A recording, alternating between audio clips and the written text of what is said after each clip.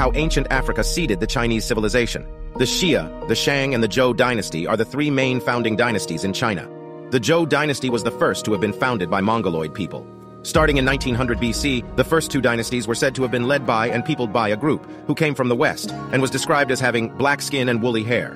They were called the Naki. Na means black and Ki means man. Black men. And they carried all the hallmarks of Egyptian civilization.